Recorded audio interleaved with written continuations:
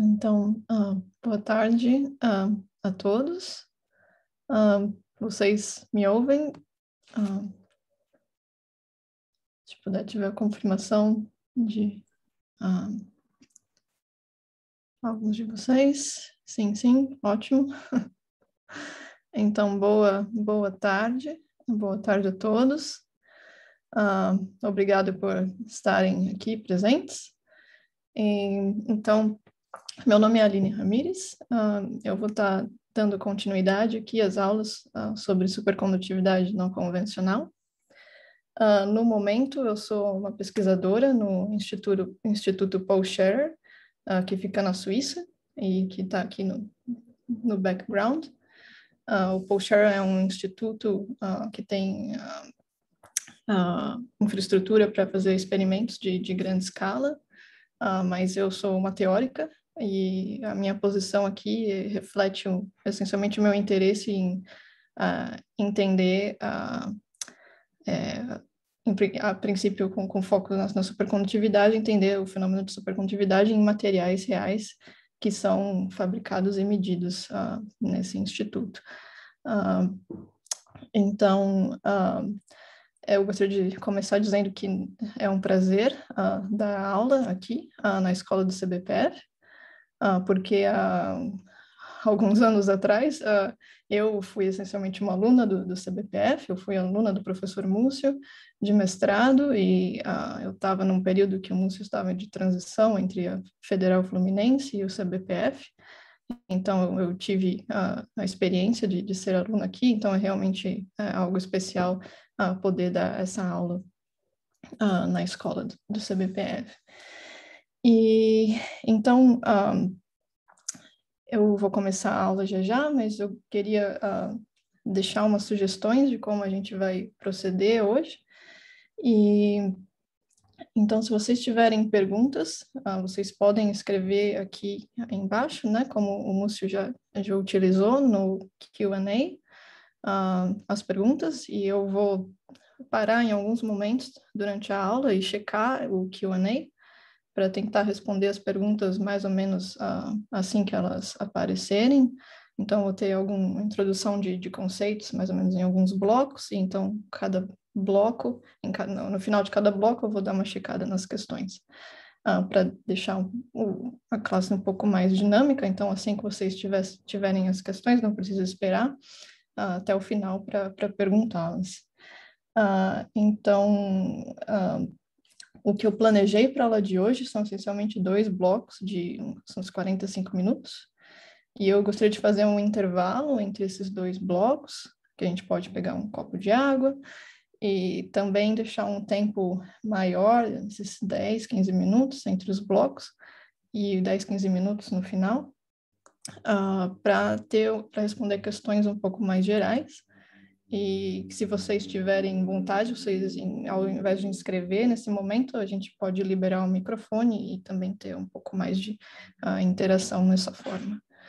Então, uh, dadas essas, essa introdução e essas clarificações, então, eu posso começar aqui com, a, com o curso.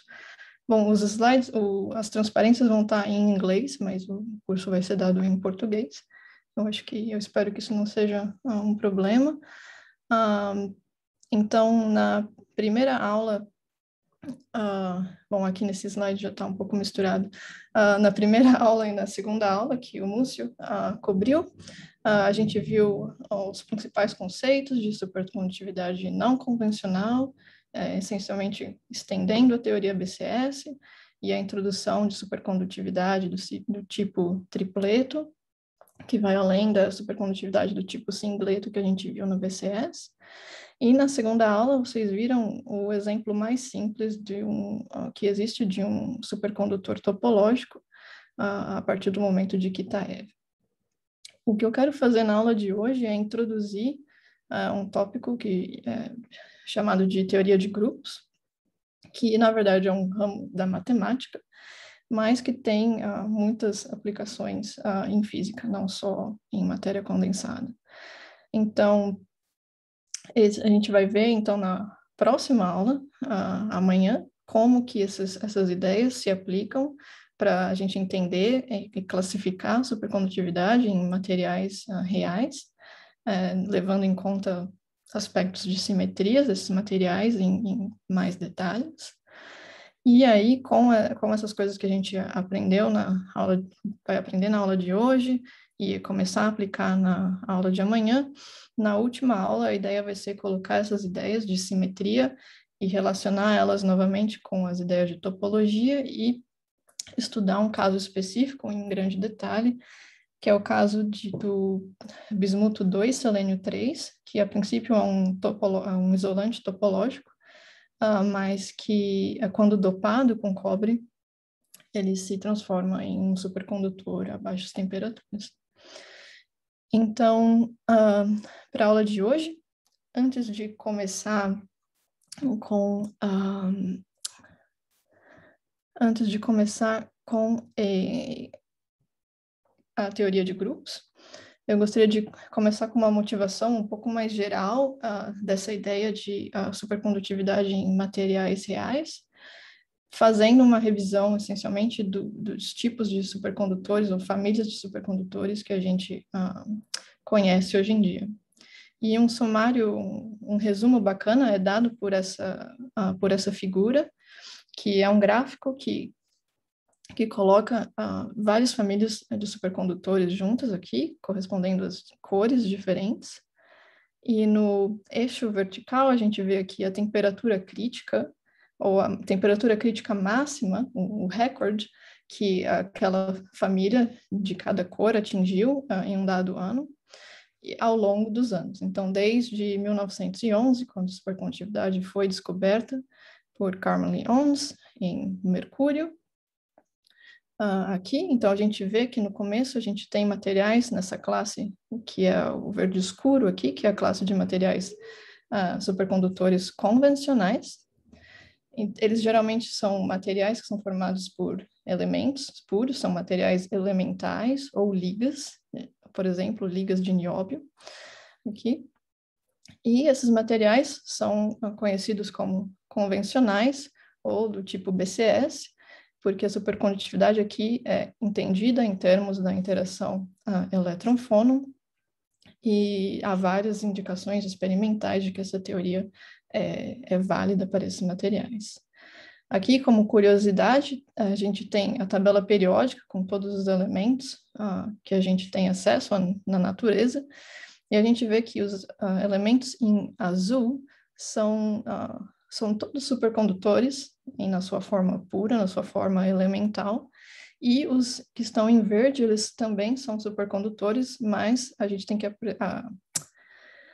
somente sobre pressão. Então, a gente vê que grande parte da tabela periódica é, é supercondutora na, na sua forma elemental. Uh, indicando que supercondutividade é um fenômeno uh, extremamente robusto em, em sistemas uh, eletrônicos. Uh, a segunda família de materiais supercondutores que foi descoberto é a família dos férmions pesados. E o que é especial nessa família de materiais é que eles têm em sua composição elementos na família dos lantanídeos ou dos actinídeos, que são esses elementos que estão geralmente nessa parte de baixo da tabela periódica. E esses elementos são elementos que têm orbitais do tipo F, que são os orbitais mais localizados que a gente tem uh, na natureza. Uh, e, como consequência, a energia de Coulomb associada com a, o, a ocupação desses orbitais por dois elétrons é muito maior do que nos outros tipos de orbitais, que são mais delocalizados, e isso gera todo o fenômeno associado com uh, correlações fortes, e, uh, como consequência, então, uh, com a supercondutividade do tipo não convencional, que geralmente é mediada por mecanismos que não são a, a interação elétron-fônon.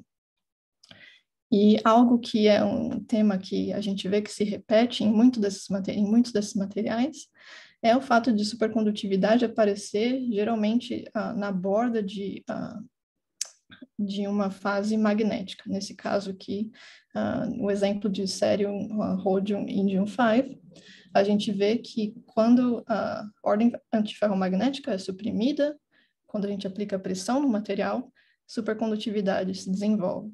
E isso foi realmente uma surpresa uh, uh, a princípio, quando foi descoberto experimentalmente, porque era, pens era pensado, com base na teoria BCS, que magnetismo e supercondutividade são dois fenômenos que não vão muito bem juntos.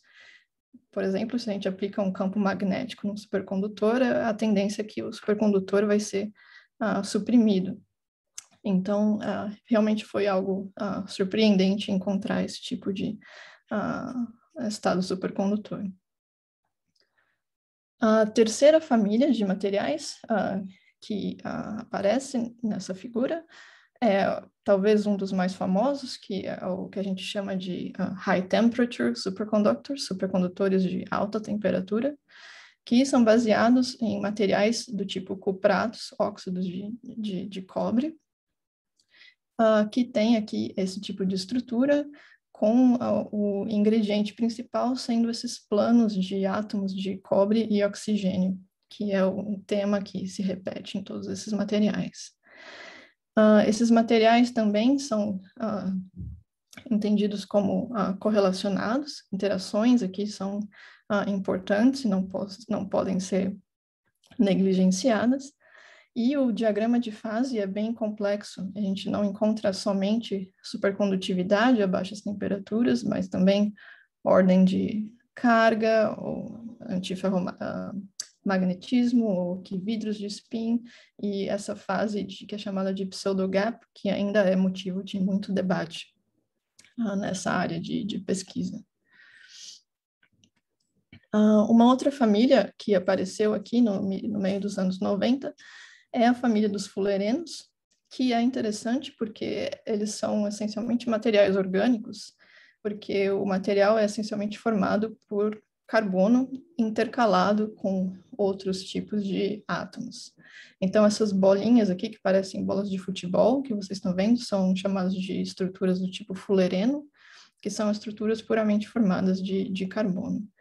Então, esses materiais são interessantes uh, por esse motivo, que é algo orgânico, que é supercondutor, mas, infelizmente, eles são muito, são muito sensitivos, eles se degradam muito facilmente, e uh, pelo que a gente uh, conseguiu uh, entender dos experimentos feitos nesses materiais, parece que eles são, na verdade, supercondutores do tipo convencional. Agora, os supercondutores do século XXI, que foram descobertos depois do ano 2000, são os supercondutores do, do do tipo que a gente chama de iron arsenides ou iron pnictides, que são baseados em materiais que têm uh, ferro em sua composição. E esses materiais foram rapidamente de uma temperatura crítica muito baixa, aqui de ao redor de 10 Kelvin, para o primeiro material que foi descoberto, e em menos de 10 anos a temperatura chegou a mais de 100 uh, Kelvin, que é algo surpreendente. Então, teve um fator de 10 aqui no aumento da temperatura crítica desses materiais nessa, nesse, em uma década. E esses materiais têm estruturas muito interessantes e composições muito interessantes, mas o que realmente foi uh, algo que a, a comunidade nessa, de, de, pesquisa nessa área começou a entender uh, o quão uh, é importante com esses materiais foi o seguinte, que esses materiais são multi-orbital, eles têm vários orbitais na composição da uh, superfície de Fermi, e uh, as, super, as superfícies de Fermi não estão cada uma associada com um orbital diferente, mas elas podem ter uma textura né, aqui representando, a composição uh, orbital. Então, por exemplo, essas superfícies de Fermi cilíndricas aqui, que aparecem coloridas, são uma mistura dos orbitais do tipo XZ, YZ e uh, XY. E realmente, para entender a fenomenologia, entender os experimentos que foram feitos nesses materiais, é, esses detalhes uh, foram uh, tiveram que, que, que ter, uh, tiveram que ser levados em, em, em consideração. E essa, esse, essas ideias são é algo que eu vou tentar introduzir um pouco na, na, segunda aula e comentar também na terceira aula. é bacana aqui também mencionar que carbono aparece também em sua forma pura como um supercondutor, mas uh, somente em arranjos específicos. Uh, logo no começo do, do, dos anos 2000 foi, foi verificado experimentalmente que nanotubos de carbono são supercondutores e que também diamante, diamante dopado, também pode ser um supercondutor. E isso é algo realmente uh, também impressionante, porque diamante é um dos materiais mais duros que se conhece, um dos materiais que são um dos melhores isolantes que a gente conhece. Mas aí, dopado geralmente com boro, ele se transforma num metal e então pode uh, uh, ser um supercondutor a baixas temperaturas.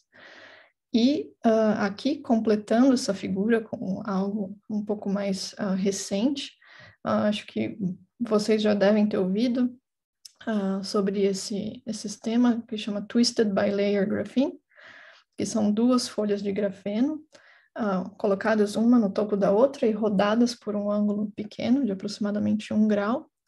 Uh, e esse sistema gera essencialmente um padrão de interferência na rede cristalina, e aí o, a escala uh, em que os padrões se repetem não é mais a escala atômica, mas é, cobre centenas de, de unidades uh, atômicas.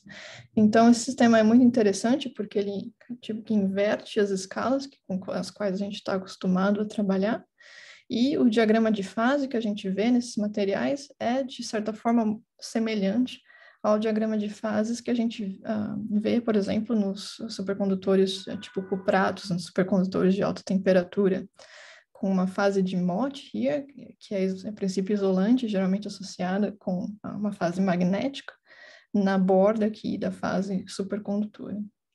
Então, isso é, é isso é, foi realmente uma, des, uma descoberta bem recente que gerou muito interesse e ainda gera muito interesse nessa comunidade, porque a origem da supercondutividade aqui ainda não está clara.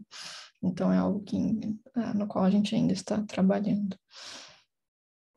E aqui, para completar essa tabela também, ah, essa figura, a gente, eu, eu gostaria de introduzir o uh, bismuto 2 selênio 3, que foi descoberto como um supercondutor uh, ao redor do ano de 2010. E esse material, no estado normal, ele, e sem a dopagem, ele é um uh, isolante topológico, e a gente tem várias evidências do, dos experimentos uh, sobre esse caráter topológico, e aqui, por exemplo, a gente vê o sinal obtido por ARPS, Angle Resolved Photoemission Spectroscopy, que é uh, capaz de extrair as bandas, então, tanto as bandas do, do bulk, que está aqui, a banda de condução e a banda de valência, que estão no, no bulk, no, no meio do material, mas também esses uh, estados aqui, que são os surface states, os estados de superfície, que estão de, uh, presentes uh, por causa da topologia não trivial, como o Múcio discutiu um, pouco na segunda aula.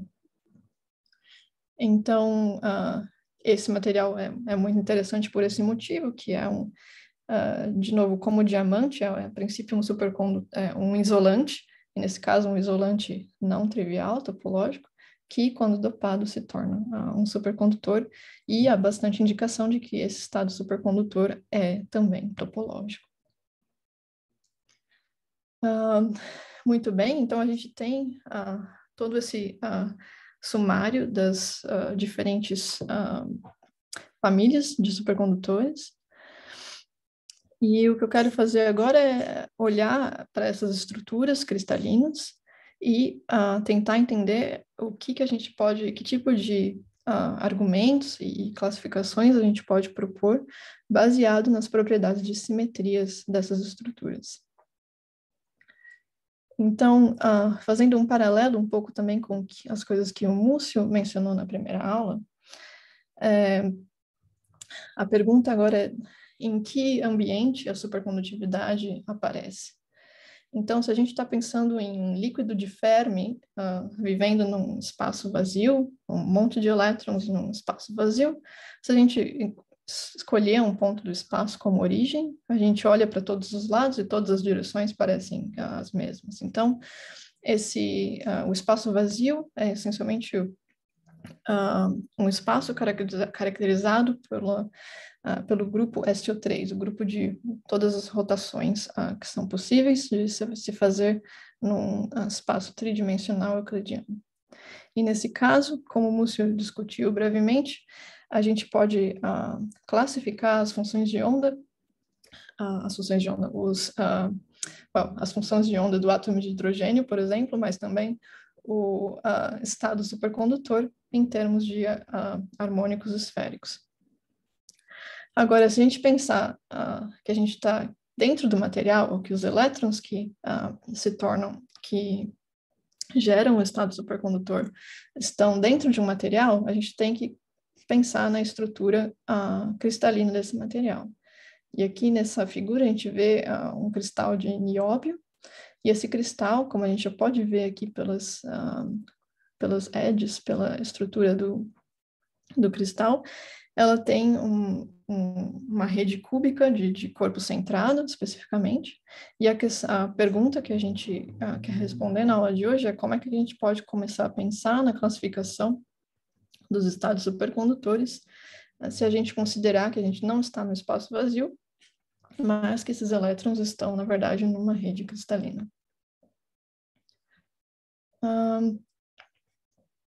Então, uh, muito bem. Uh, eu não vejo nenhuma pergunta até agora, então a gente vai começar a introduzir uh, esses conceitos de teoria de grupos, que a princípio são uh, bem abstratos, mas eu vou tentar fazer, assim que eu introduzir os conceitos abstratos, trabalhar com um exemplo em paralelo, uh, de forma que vocês possam assimilar essas ideias um pouco mais facilmente. E como referências, uh, eu acho que essas três referências são interessantes. Em particular, o, a primeira referência aqui, que é bem legal para uma primeira leitura nesse tópico, e faz uh, uh, paralelos bem bacanas com, com física e mecânica quântica básica. E, a, a princípio, o capítulo 1 aqui é, cobre vários, várias das ideias que eu vou estar discutindo hoje. Uh, esses outros dois uh, livros, eles são um pouco mais pesados, mas yeah, pro, se algum de vocês está interessado em, em entender mais detalhes sobre esse tópico, eles são também duas referências muito boas. então, o que é, uh, o que é um grupo. Então, a definição de um grupo é a seguinte: uh, o grupo é um conjunto de elementos junto com uma lei de composição. E essa lei de composição também geralmente a gente uh, se refere a ela como produto ou multiplicação, porque ela é denotada por esse ponto em, de forma mais geral. E para ser um grupo, esses elementos, eles uh, têm que satisfazer alguns requerimentos. E o primeiro requerimento é que o produto ou a composição de dois elementos do grupo dá um outro elemento que também deve estar no grupo. Então, de forma um pouco mais formal, se A e B estão no grupo, A composto com B também deve estar no grupo. Uh, o segundo requerimento é que o grupo, é que o, o, produto, ou essa lei de composição, deve ser associativa. Então, se eu tiver três elementos do grupo, A, B e C, se eu compor B com C e depois compor o resultado com A, eu devo encontrar a mesma resposta. Uh, se eu fizer a composição de A e B primeiro e depois compor com C. Uh, o, o, terceiro requerimento é que há sempre um, um elemento de, do tipo identidade. de forma que a identidade composta com qualquer elemento ou o processo inverso, ele qualquer elemento composto com o elemento identidade é igual ao elemento mesmo, aqui no caso o elemento A. E o quarto requerimento é que uh, todo elemento tem um elemento inverso. Então, se A pertence ao grupo, sempre há um elemento chamado A menos 1, de forma que A composto com A menos 1 ou A menos 1 composto com A dão a identidade. Então, uh, para fazer essas ideias uh, um pouco mais uh, reais, vamos ver um exemplo, que é um exemplo bem simples. Eu tenho certeza que vocês vão entender como essas, esses requerimentos funcionam com esse exemplo. E o exemplo é o grupo dos inteiros com a lei de composição de adição. Então, os elementos do grupo são os números de menos infinito a infinito, os números inteiros, uh, e a lei de multiplicação agora é adição. Então, uh, a gente pode, por inferência, ver alguns exemplos aqui, que a primeira, o primeiro requerimento é sempre verdade. Se a gente somar dois números inteiros, a gente sempre encontra um número inteiro. Então, 1 mais 1 é 2, 2 mais 7 é 9, a gente pode somar números negativos com positivos, a gente também encontra o um número inteiro, uh, e assim por diante. Uh, a composição é associativa, então a gente já sabe que a soma é uma operação associativa, então não importa se a gente somar, nesse exemplo aqui, uh, primeiro a gente somar 1 e 5, a gente encontra 6, e depois somar com menos 3, de forma que a gente encontre 3. Uh, a gente pode fazer a composição do segundo e do terceiro elemento primeiro, então a gente encontra dois, e depois fazer a composição com o primeiro elemento, que a gente encontra três. Então, é, essa, uh, esse requerimento também é satisfeito. Um, o requerimento da, de, da, da, identidade, a identidade aqui, na verdade, não é o número 1, mas o número 0, porque uh, compondo 1 com 0 eu encontro 1, ou qualquer número com 0 eu encontro o número uh, com o qual eu comecei. Então, a gente tem o elemento identidade, que é o, que é o número 0 nesse caso. E uh, todo o requerimento do elemento inverso e único, aqui, é claro que é o número, é, para, um dado número, o número inverso é um número com o sinal oposto. Então, Uh, 1 tem como elemento inverso menos 1, de forma que se eu compor 1 com, menos, com menos 1, eu encontro 0. Se eu começar com, minus, com menos 3, o inverso de menos 3 vai ser 3, de forma que a composição desses elementos dê zero. Então, ok, parece que os números inteiros com a operação de adição satisfaz uh, todos uh, uh, satisfaz todos esses requerimentos. E aqui a gente pode já introduzir um outro conceito, que é a ordem do grupo. E a ordem do grupo nada mais é do que o número de elementos do grupo. E nesse caso, a gente tem todos os números inteiros, de menos infinito a infinito.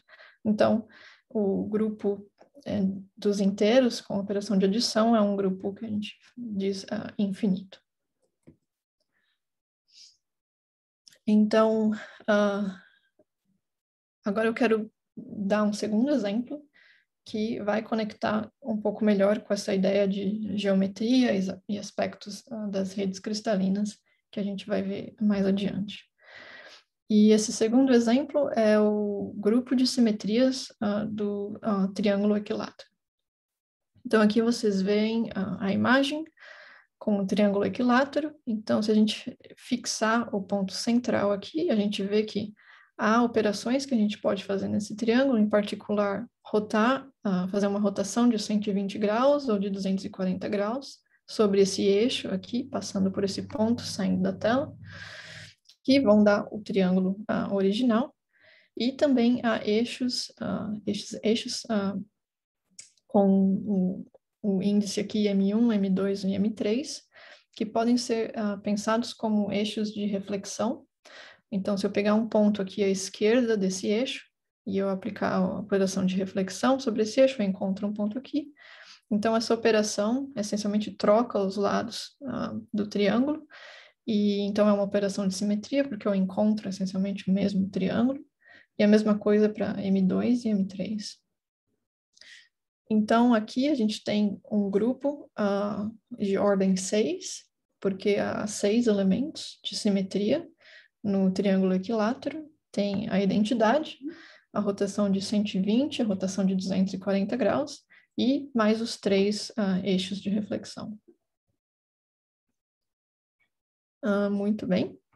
Agora, para concluir ou verificar que é, esse uh, grupo é, na verdade, um, um, grupo, a gente tem que ver se todos os requerimentos são satisfeitos.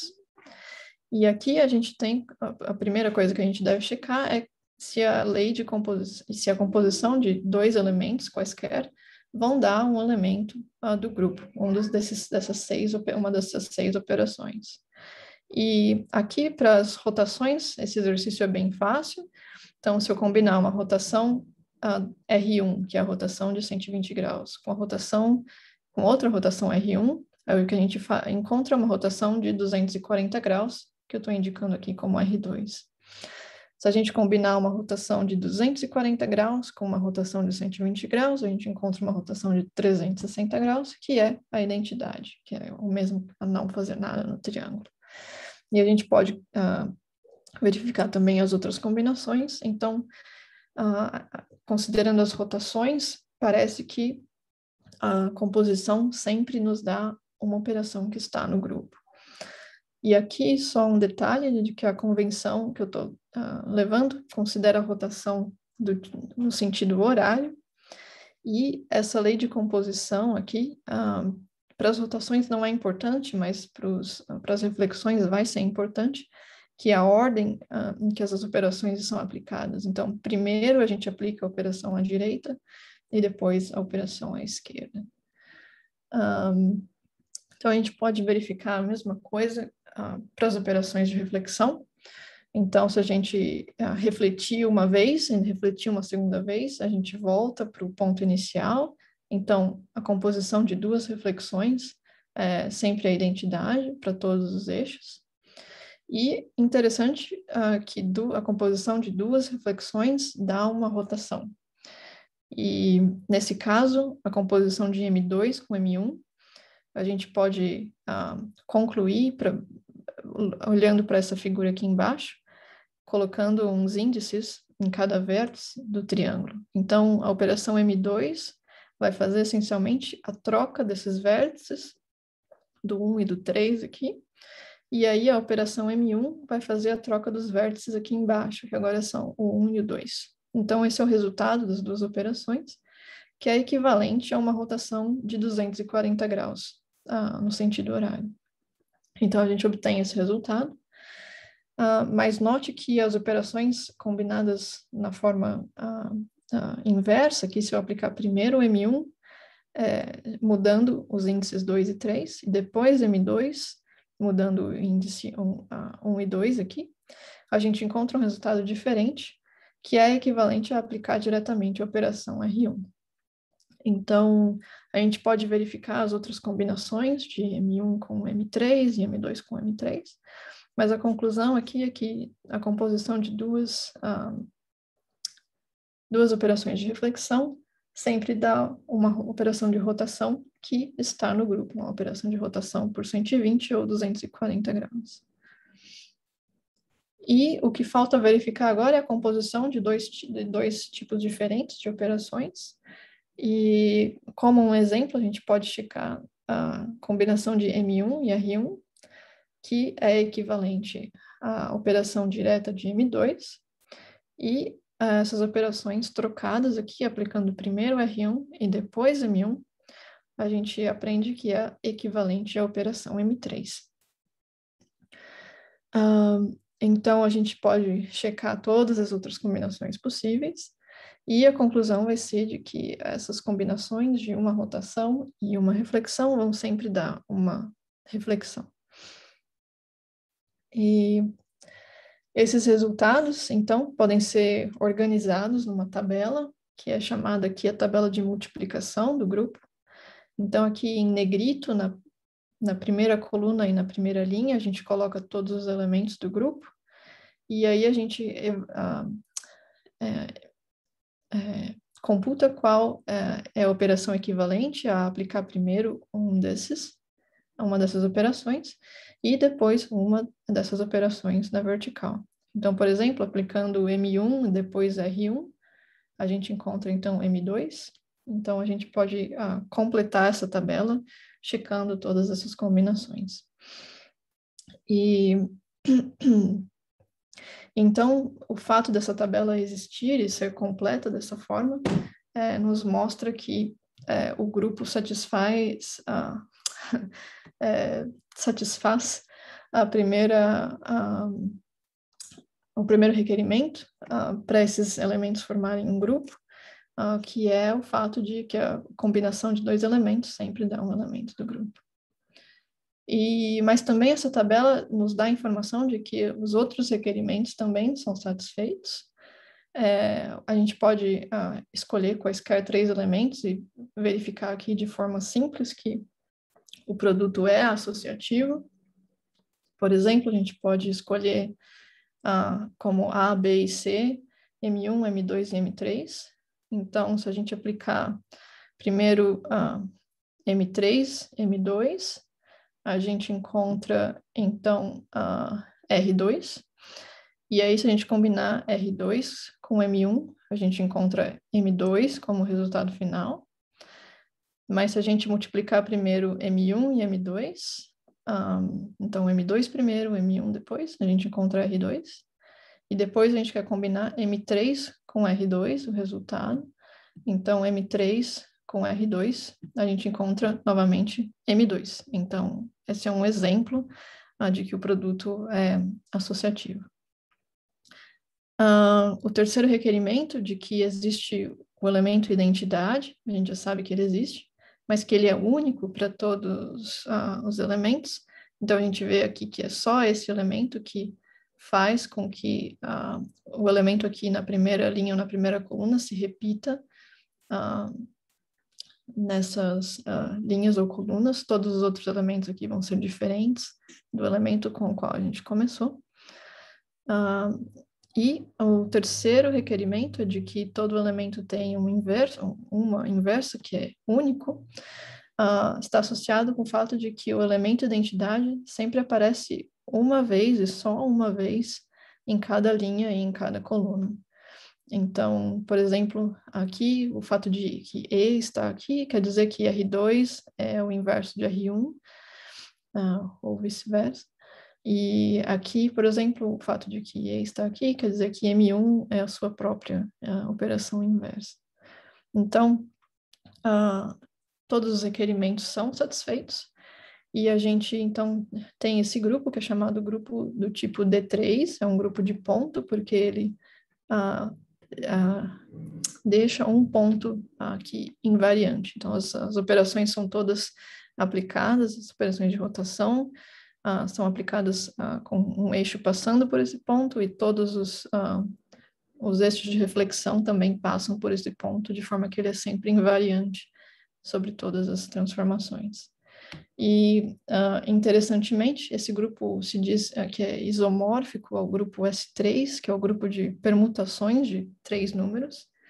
E isso a gente pode entender quando a gente usa esses uh, índices em cada vértice, índice 1, 2 e 3, e a gente vê que todas essas operações podem ser mapeadas para a permuta, sim, simplesmente a permutação desses números no triângulo. Então, esses grupos são isomórficos. Eu vou introduzir mais um conceito relacionado com essa ideia de grupos, que é a ideia de elementos conjugados. Então, um elemento G1 é conjugado a um outro elemento G2 se existe um terceiro, terceiro elemento no grupo de forma que essa identidade seja satisfeita.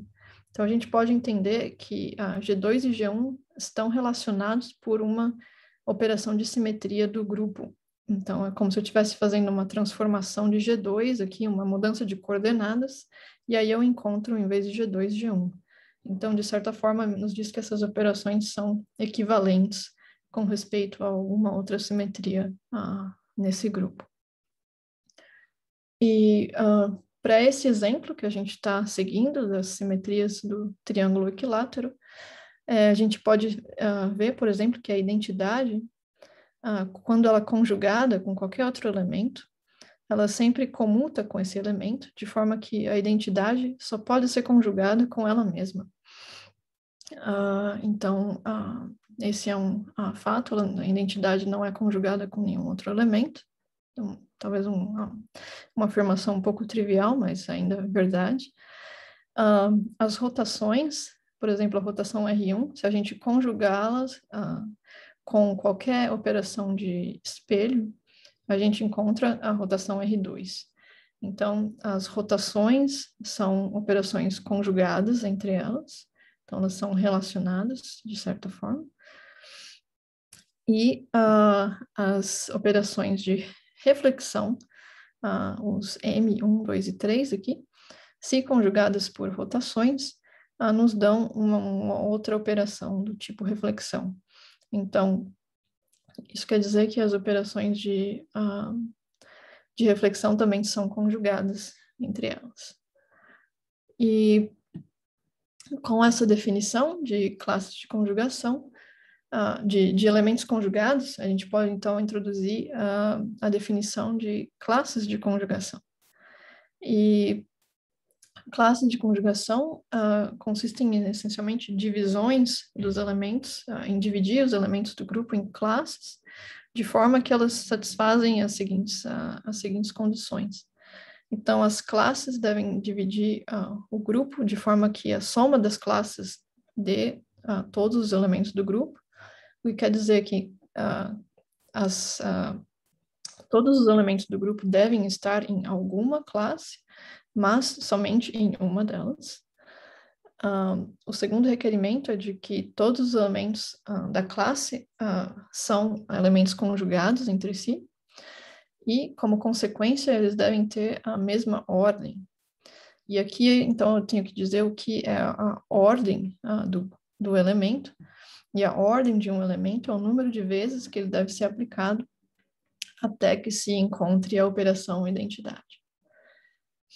A terceira, ah, aqui eu já posso comentar então de que ah, a divisão que a gente ah, poderia já ah, adivinhar dessa discussão dos elementos conjugados seria algo assim, C1, três classes de conjugação, C1, C2 e C3, a primeira é formada somente pela identidade, que está relacionada com essa terceira condição, de que um elemento que comuta com todos os elementos do grupo forma uma classe por si mesma, e nesse grupo, somente a identidade é a operação que comuta com todas as, todas as outras operações.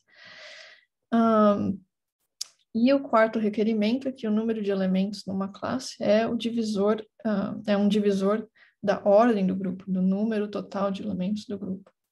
Então, a gente vê que uh, essa, essa sugestão de classe de conjugação satisfaz, uh, satisfaz, uh, satisfaz sorry, todas, uh, todas essas condições. A soma nos dá o grupo, todos os elementos do grupo. os elementos têm a mesma ordem, por exemplo, para encontrar a identidade, a gente precisa aplicar a operação de rotação de 120 graus três vezes para encontrar a rotação de 360. Assim como a operação de 240 graus, a gente precisa aplicá-la três vezes para recobrar a identidade. E as operações de reflexão, a gente precisa aplicar duas vezes uh, para encontrar a identidade. Então, aqui a ordem dos elementos seria 1, 3 e 2. Uh, mas a dimensão das classes seria 1, 2 e 3, o número de elementos em cada classe. Então, o número de elementos, 1, 2 e 3, são todos divisores da ordem do grupo, que é 6. Então, 6 é divisível por 1, 2 e 3. Então, tudo uh, faz sentido, uh, dada essa, essa definição de classes de conjugação. Um,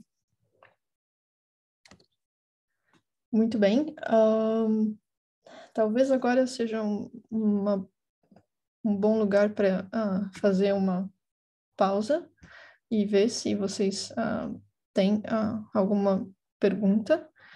Uh, podem ser perguntas tanto da parte da motivação sobre diferentes materiais supercondutores ou perguntas que são relacionadas com esses conceitos que foram introduzidos a princípio de forma abstrata, mas com o exemplo do triângulo equilátero aqui, que meio que exemplifica uh, esses conceitos. Um, então, eu vejo uma pergunta aqui do João Silva.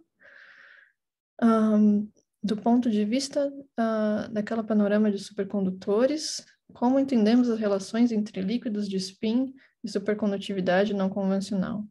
Os líquidos de spin podem uh, possuem algum protagonismo em materiais supercondutores de altas temperaturas, por exemplo? Uh, essa é uma ótima pergunta e eu acho que essa pergunta ainda está relacionada com a pesquisa que é feita hoje em dia, então uh, eu não posso dar uma, uma resposta uh, final para essa pergunta, mas como alguns de vocês já devem saber, a ideia de líquidos de spin foi uma das primeiras propostas do Phil Anderson para explicar a supercondutividade nos cuprados, uh, que nasceu dessa ideia de uh, RVB, Resonant Valence Bonds. Então, se a gente uh, pensar naquela estrutura do, da rede quadrada, se você pensar que tem um spin em cada sítio da rede, a gente pode pensar em formar pares de singleto entre dois uh, sítios com spin oposto, ou uh, a gente pode também formar pares com vizinhos mais afastados. E uh, o estado de, desse, dessa um, ligação de Resonant Valence Bond, eu não sei qual seria a tradução para português, esse estado RVB, um, é, seria então a superposição de todas as combinações desses uh, pares de singleto uh, ao longo de toda a rede. E essa, esse estado é conhecido como um dos estados prototipos de uh, um líquido de spin, que é um estado totalmente desordenado com respeito ao a, a magnetismo, né? não, não há um momento magnético uh, nesse estado. Então, uh, tem esse link, tem, há teorias que, que propõem uh, que supercondutividade, então, emerge, poderia emergir naturalmente dessa, desse cartoon, dessa imagem, desses singletos que estão superpostos sobre, todo, sobre toda a rede, mas eu acho que hoje em dia é, essa, essa teoria ah, não é talvez a, a, teoria que esteja mais ah, bem relacionada com os experimentos ah, nos estados, nos high TCs, no, nos supercondutores de altas temperaturas, porque há outras, outras um, características importantes que a gente recentemente aprendeu dos experimentos que estão relacionados com a charge order, com a ordem uh, em, carga, não somente no spin, uh, que podem também estar tá, um, é, facilitando a supercondutividade. Uh, então, essa, esse é o comentário que eu posso fazer e que, obviamente, não é uma uma resposta final para essa pergunta. Um, uh, tem uma outra pergunta do Henrique Ferreira. Uh, como apresentado, R1, R, R1 composto com R2 é igual a identidade, ou seja, R2 é igual a R1 a menos 1, isso está correto. Porém, se você fizer uma rotação R1 e voltar a ela, ou seja, rodar por menos 120 graus, você também obtém E, a identidade. Essa rotação de 120 graus é definida no grupo? uh, essa rotação de menos 120 graus, nessa definição, é a, é a mesma coisa que a rotação de 240 graus. Então, uh, uma maneira, talvez, de entender... Uh, como eu posso montar? Um, tá, tá, tá. Uh, rotações, mais um. um ah, talvez. Então, vamos, a gente pode começar com esses triângulos que estão uh, aqui com os índices 1, 2 e 3. Uh, esqueçam o que está à direita, só pegar, usar o triângulo por causa dos índices. Então, se a gente rodar por 120 graus, a gente vai encontrar, então, o 1 aqui, o, uh, o 1 aqui, o 3 aqui e o 2 aqui. Uh, se a gente rodar por 240 graus, a gente vai encontrar o 1 aqui, o 3 aqui e o 2 aqui. Bom, é essencialmente o que está ah, aqui. Essa é a imagem que eu queria uh, mostrar. Então, se a gente começar com esse triângulo e aplicar R2, esses vão ser os índices nos vértices, e se a gente começar com esse triângulo e aplicar R1, esses vão ser os índices no vértice. Agora, se a gente aplicar R1 a menos 1, que é não rodar os índices no sentido horário, mas rodar os índices no sentido anti-horário, eu vou ter o 1 aqui, o 2 aqui e o 3 aqui, que é exatamente o mesmo que o R2. Então, a operação de menos 120 graus é a operação de 240 graus.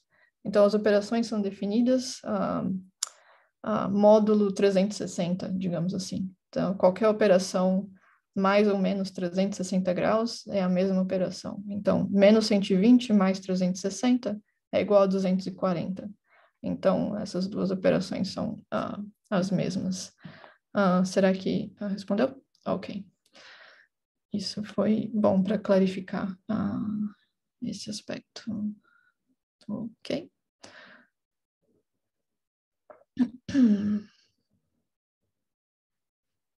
Ótimo. Ah.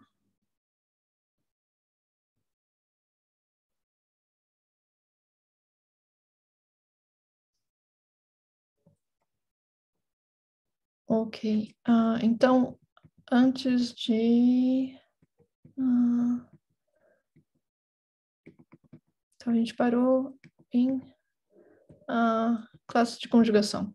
Ok. Uh, antes de começar, de continuar com classe de, combina de, de conjugação, com representações de grupo, uh, eu gostaria de fazer uma pausa pequena de uns uh, três, cinco minutos no máximo, de forma que eu possa pegar um copo d'água e, e, voltar daqui a pouquinho. Então, vocês também podem fazer o mesmo, e então já já a gente se vê novamente.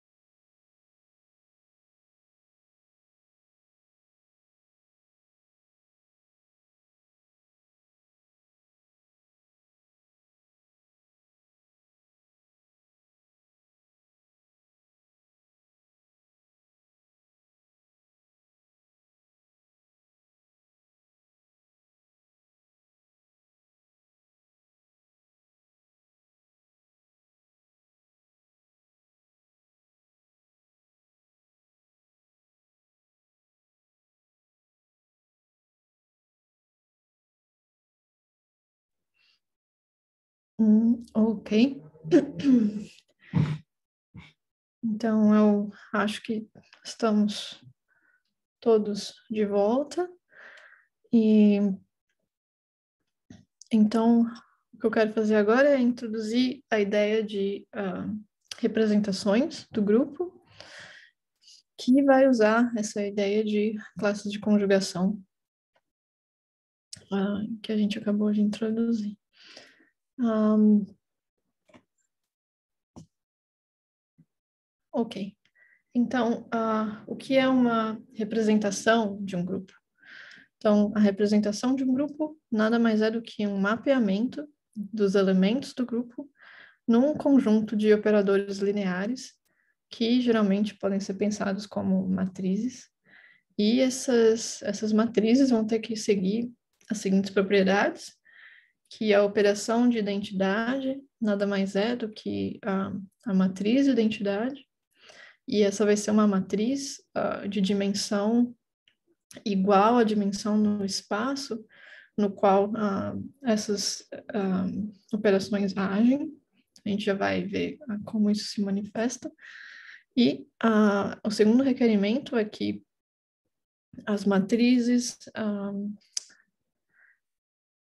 que são uh, mapeadas para o elemento G1 e a matriz que é mapeada para o elemento G2, quando multiplicadas, vão dar uma terceira matriz, que deve ser a matriz associada com o, o produto dos elementos G2 e G1.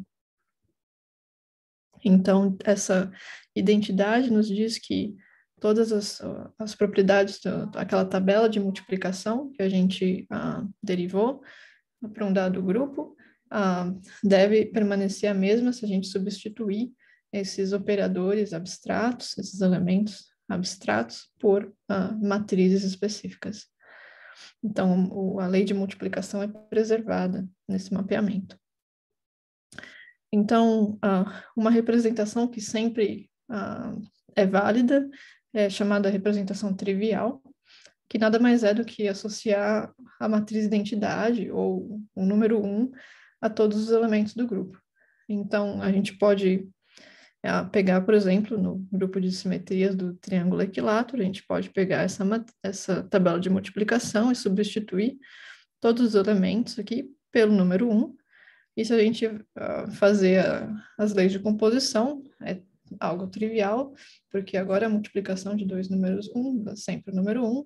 Então, a tabela é, é verdade, todos os, uh, todas as afirmações aqui com respeito à composição de dois elementos continua, continuam sendo válidas, mas válidas de forma trivial, porque essa tabela não me dá nenhuma informação a respeito das estruturas interessantes que estão uh, uh, uh, aqui em, manifestas nessa, nessas combinações, dessas, dessas operações.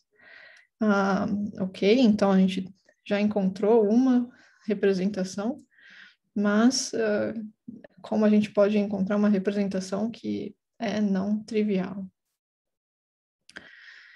Então, uma representação não trivial a gente pode encontrar uh, pensando nessas operações uh, de rotação e reflexão aplicadas no espaço euclidiano de três dimensões. Então, em, usando coordenadas, por exemplo, x, y e z, a gente pode uh, escrever a rotação de 120 graus uh, desta forma.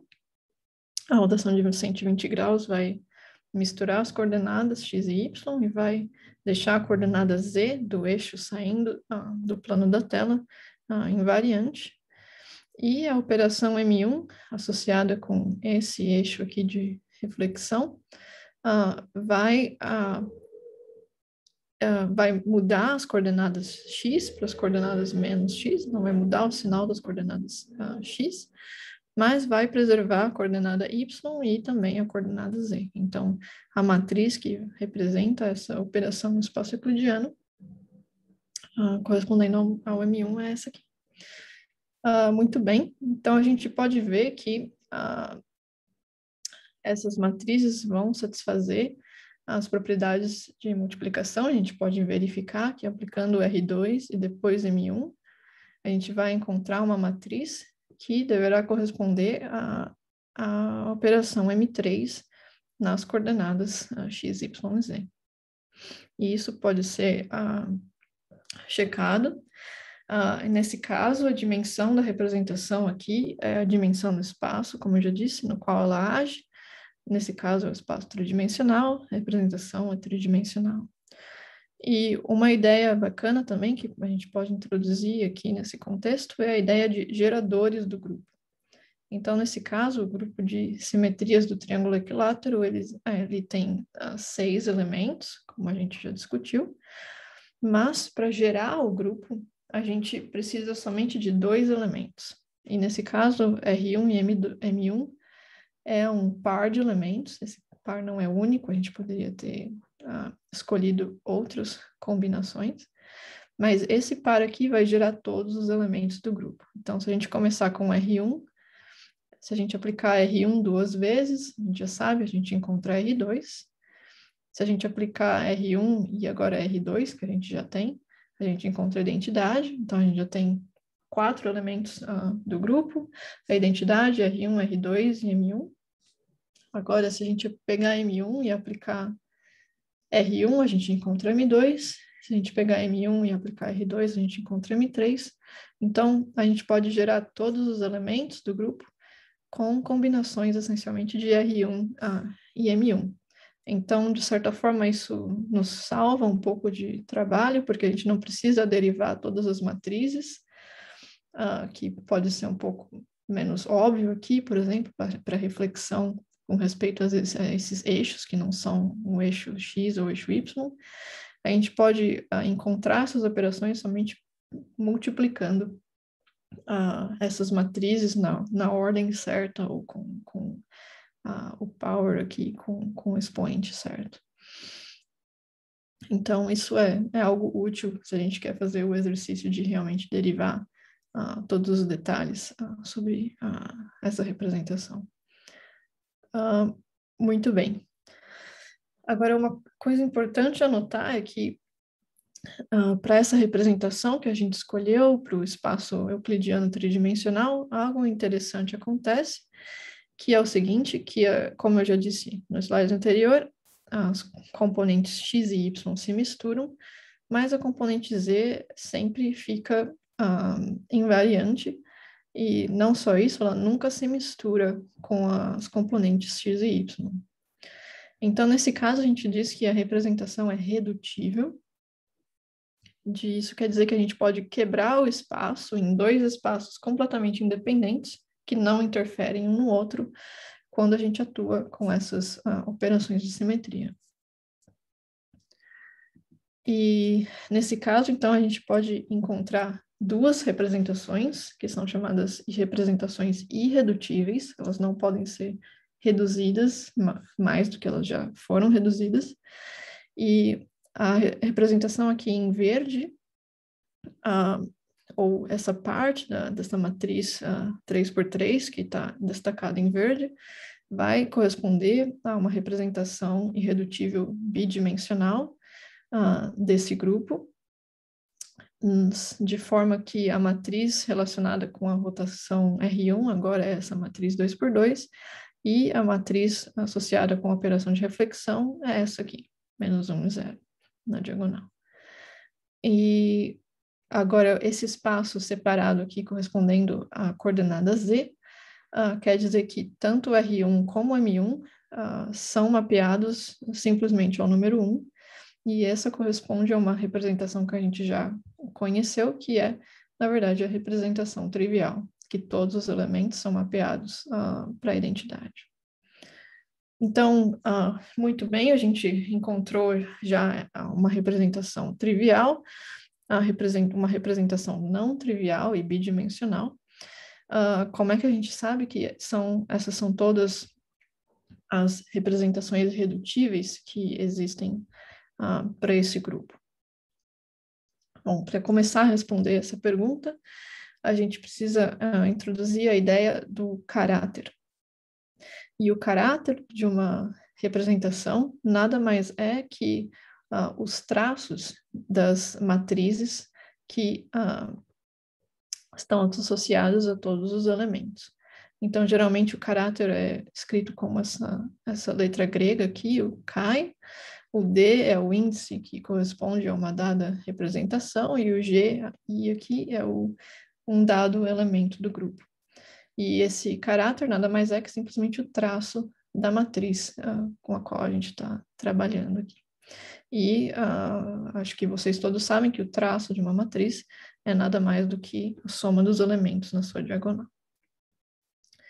Então, aqui algo interessante acontece que se dois elementos são elementos conjugados, o caráter, por exemplo, do elemento G2 vai ser igual ao caráter desse produto, G, G1, G menos 1. Mas a gente tem que lembrar que o traço tem uma propriedade bacana, que é a propriedade cíclica, que nos permite pegar uma matriz que aqui como a última no produto e passar ela para a primeira posição, de forma que a gente encontra aqui o G menos 1G, que é sempre igual à identidade, então quer dizer que o caráter do G1 é igual ao caráter do G2, se eles forem uh, elementos conjugados. Então, isso é bacana e nos vai, é, vai nos ajudar a organizar um pouco essas ideias, porque agora a gente pode olhar as uh, classes de conjugação. Então, a gente já sabe que, para o exemplo que a gente está considerando, há três classes de conjugação e como a gente definiu, as classes de conjugação são formadas por elementos conjugados, então basta definir um caráter para por classe. Então, nessa tabela, a gente tem para a representação trivial, o caráter é igual a 1 para todos para todas as uh, classes de conjugação aqui, C1, C2 e C3, porque a representação é trivial, é igual ao número 1 em todos os casos. Mas para a representação não trivial, o traço, então, da identidade vai ser igual a 2, porque essa é uma representação bidimensional. A identidade é a matriz, a, o elemento identidade é a matriz identidade 2 por 2, então o traço é 2. Para as rotações, a gente pode ver aqui pela, pela representação de R1 que o traço é igual a menos 1, e para os uh, elementos de reflexão, o traço então vai ser zero. Então, isso é bacana porque uh, a gente vê que uma forma de uh, indexar as representações irredutíveis agora vai ser usando esses números que, que dão os caráteres de cada classe de conjugação. Um, muito bem, so, então isso nos ajuda a organizar um pouco as coisas, mas ainda não a gente não respondeu a pergunta de que há, há ou não há outras uh, classes de uh, outras uh, representações irredutíveis. Então, para responder essa pergunta, a gente vai usar alguns fatos que eu não vou provar aqui, mas eu vou usá-los então, para os alunos que estiverem interessados em provar esses fatos, uh, uma das referências que eu mencionei no começo uh, vão ser bem úteis e dão todos os detalhes, por exemplo, o livro de, do Howard Georgi. Um, então, os fatos que a gente vai, vai usar aqui são os seguintes: são fatos que relacionam os caráteres, ou essa tabela de caráteres, e as representações irredutíveis. Então, o primeiro fato é que o número de representações redutíveis deve ser igual ao número de classes de conjugação. Então, a gente sabe que, para o exemplo que a gente está olhando, uh, as classes de conjugação são três, então a gente vai esperar que uh, existem três representações irredutíveis. Então, a gente sabe que tem uma representação que está faltando. Uh, o segundo fato é, de que, é o seguinte, a ordem do grupo, que aqui é denotado com esse G entre barras, uh, que é igual ao número de elementos no grupo, deve ser igual à soma dos quadrados da dimensão dessas representações irredutíveis. Então, essa identidade deve ser satisfeita.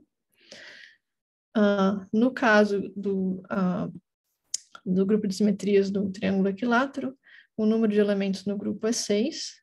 A gente sabe que a primeira eh, representação irredutível tem dimensão 1, a segunda tem dimensão 2. e a terceira a gente ainda não sabe. Mas por essa identidade a gente já pode deduzir que a dimensão uh, dessa terceira representação irredutível vai ser igual a 1. Então, ela é outra representação unidimensional. E o terceiro fato é o seguinte, que a gente pode pensar nesses caráteres essencialmente como vetores que devem ser ortonormais. Então, o produto dos, de uma, dos caráteres de uma representação com os caráteres de outra representação para cada elemento do grupo, quando somados, eles devem dar um número, que é o número de uh, elementos no grupo.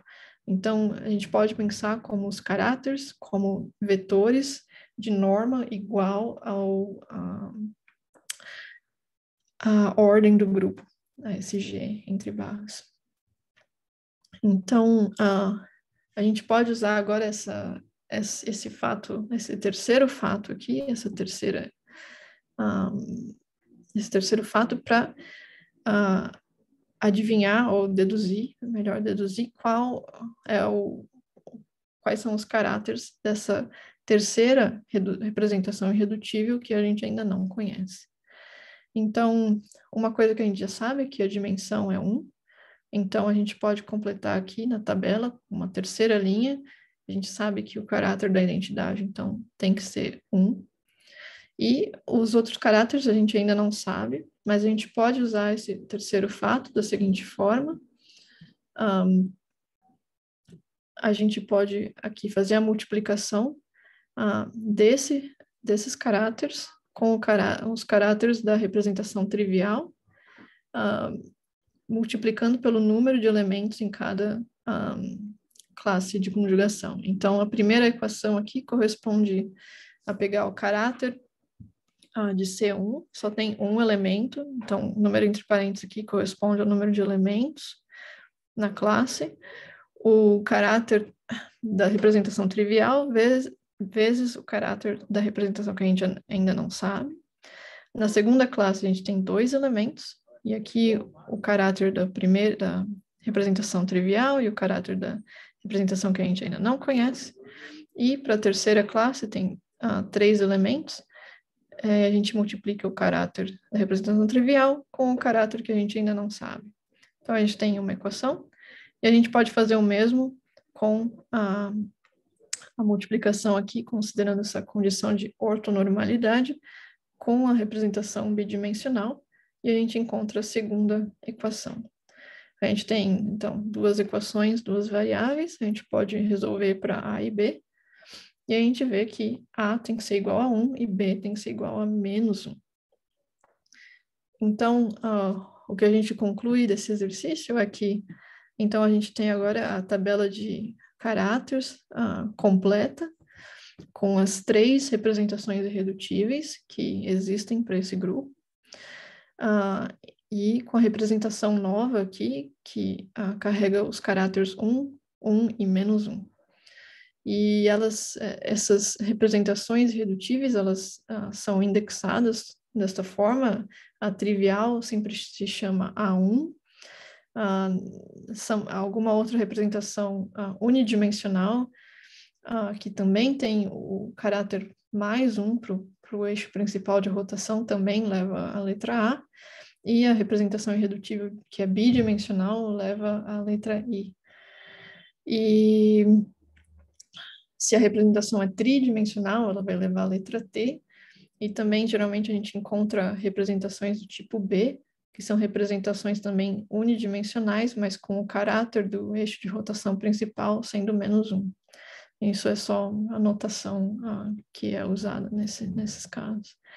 E o que é interessante ressaltar aqui é que essa tabela, ou essas uh, representações redutíveis e as suas propriedades, poderiam ser deduzidas simplesmente por uh, olhar a tabela de multiplicação do grupo aquela tabela grande, 6 por 6 que a gente ah, ah, viu no começo. E ah, sem, a gente poderia deduzir essa tabela sem olhar nenhum aspecto geométrico específico do grupo.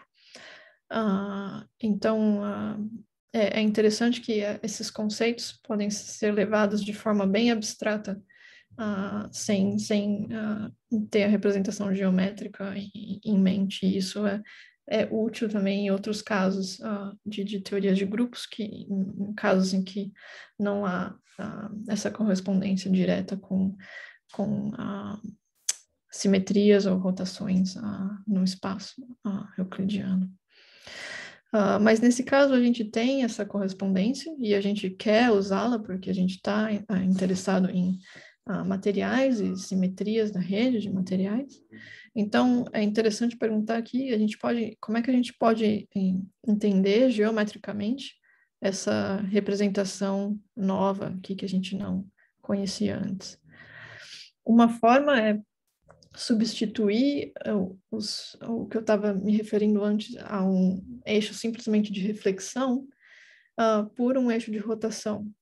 Então, agora, em, ao invés de somente ref, refletir uh, os lados do triângulo de um lado para o outro, a gente vai pegar o triângulo e rodá-lo ao redor, uh, por exemplo, desse eixo, de forma que o topo do, do plano aqui do triângulo agora vai para baixo, o que quer dizer que a coordenada z que não estava mudando sobre reflexão, se a gente mudar a operação para essa rotação, a coordenada z vai para menos z, então o M1 aqui ganha um sinal de menos 1.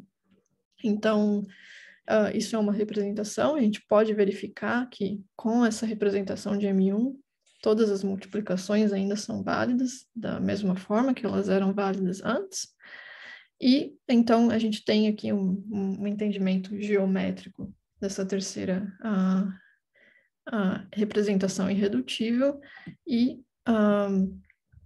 essas são todas as representações irredutíveis que existem uh, para esse grupo.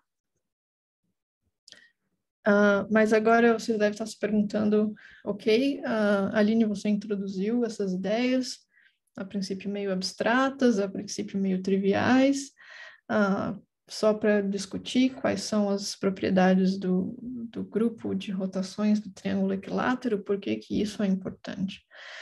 Uh, então, isso é importante porque uh, geralmente a gente está uh, interessado em resolver algum problema em mecânica quântica, nesse contexto de matéria condensada, e a nossa Hamiltoniana, ou o sistema que a gente está interessado, geralmente tem um grupo de simetrias, geralmente relacionado com propriedades do espaço. Então, há rotações e reflexões que a gente pode uh, uh, operar nesse sistema, que vão deixar o sistema e a Hamiltoniana invariantes. Então, a gente pode pensar que a Hamiltoniana vai estar agindo num, num espaço de Hilbert, e que a gente pode uh, encontrar representações para essas rotações agindo nesse espaço de estados, no espaço de Hilbert, da mesma forma que a gente encontrou a representação para as rotações no espaço euclidiano uh, sendo aplicadas no, nas coordenadas x, y e z. E o que é interessante aqui é que a gente pode encontrar uh, o mesmo esquema de que as representações, a princípio, uh, vão ter me a mesma dimensão do espaço de estados, do espaço de Hilbert, mas que esse espaço ele pode se quebrar em espaços independentes, que não são uh, conectados por nenhuma dessas operações de simetria do grupo.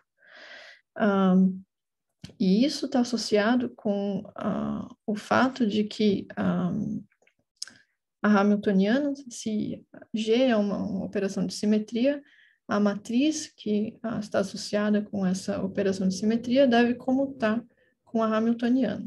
O que quer dizer que, ah, rodando o espaço, rodando o estado, desculpa, por essa operação, transformando o espaço por essa operação, a gente vai encontrar um outro estado quântico que vai ter a mesma energia.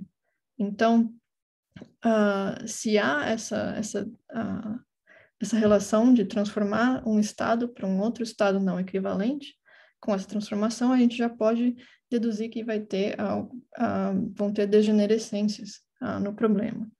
E a dimensão dessas representações irredutíveis nos dá diretamente a informação do grau de degenerescência desses estados.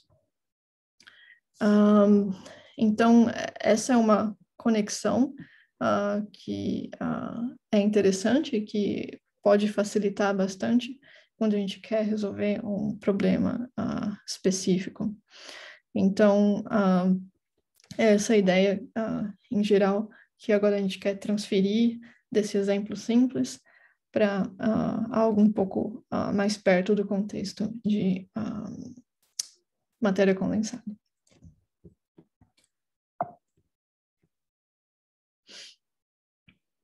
Ok, então, uh, para continuar uh, nessa linha, eu quero voltar um pouco ao que a gente uh, discutiu no começo, que é essencialmente as estruturas não triviais que esses materiais apresentam.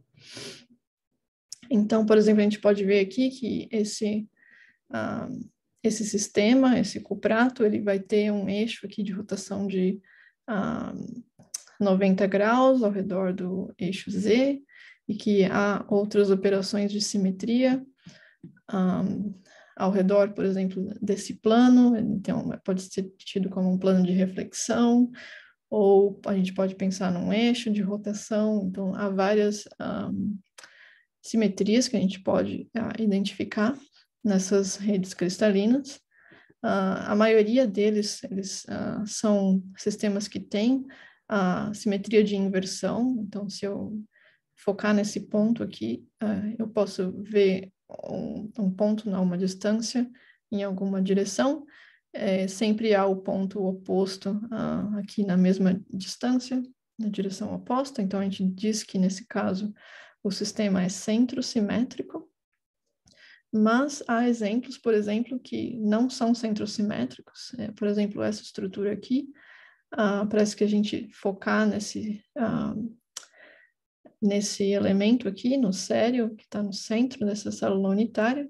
Se a gente olhar para esse vizinho aqui, uh, que é um elemento irídio, a gente olhar na posição oposta, na direção oposta, na mesma distância, a gente não encontra um elemento de irídio, a gente encontra ah, um elemento de silício que talvez não está nem na posição exata uh, oposta. Então, a gente fala então que esse uh, sistema é não centrosimétrico e há várias coisas interessantes que podem acontecer quando o sistema uh, não tem simetria de inversão. muito bem, foi, essa foi uma curiosidade, mas o que eu quero motivar agora é olhar grupos de ponto e fazer uns dois exercícios aqui para meio que fixar uh, as ideias que a gente uh, introduziu uh, com a ideia do triângulo equilátero, mas agora olhando para redes. Então, primeiro, o primeiro exemplo, talvez um dos exemplos mais simples, é a rede bidimensional quadrada. E nesse caso, se a gente focar neste ponto aqui, a gente pode definir um grupo de ponto que vai de todas as operações que podem ser aplicadas nessa rede, que você deve pensar como infinita, infinitamente continuando em todas as direções. Ah, então, quais são todas as operações que fazem a, a rede voltar a si mesma, mas manter, ah, mantendo esse ponto ah, fixo? Então, a gente tem a identidade, obviamente, a rotação de 90 graus, de 180 graus e de 270 graus. E aqui a gente vai denotar a rotação de 90 graus como C4 e a rotação de 180 graus como C2, porque é um eixo de rotação de 2π sobre 4 ou 2π sobre 2.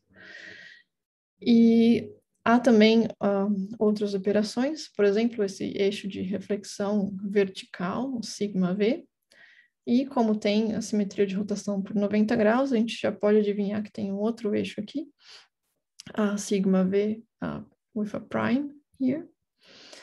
Uh, há também outros, uh, outras simetrias, por exemplo, o eixo de reflexão na diagonal, o sigma D, e também pela simetria de rotação de 90 graus, a gente já pode deduzir que tem um outro eixo aqui equivalente, que é o sigma D prime.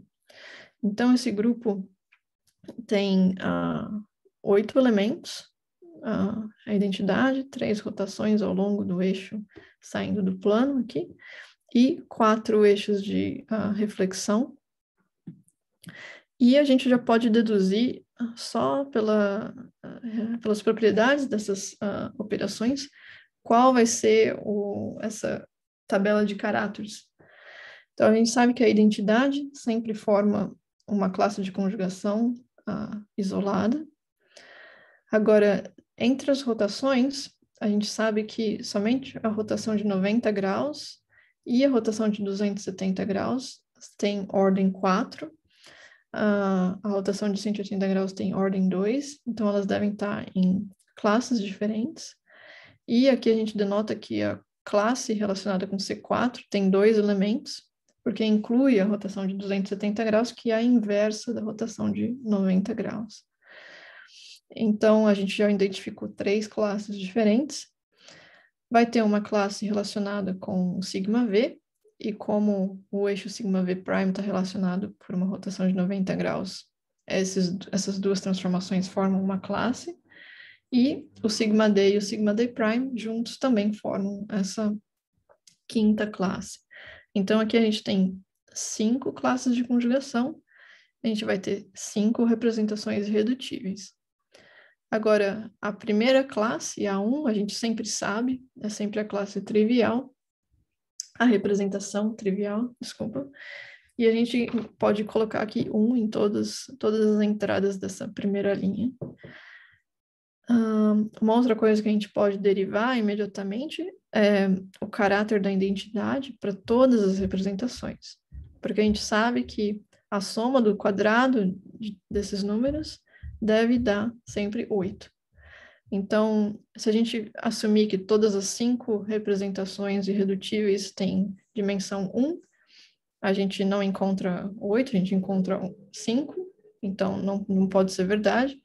Mas se a gente pegar uma das representações e colocar dimensão 2, então a gente tem 1 ao quadrado, mais 1 ao quadrado, mais 1 ao quadrado, mais 1 ao quadrado, mais 2 ao quadrado, que dá 8 e vocês podem verificar que essa é a única forma de satisfazer essa identidade com uh, números inteiros.